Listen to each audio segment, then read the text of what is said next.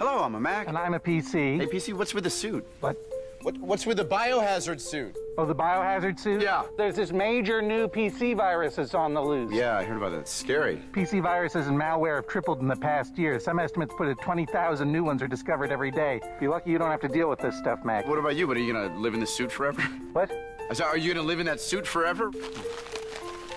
I couldn't hear you through my virus-proof mask. Well,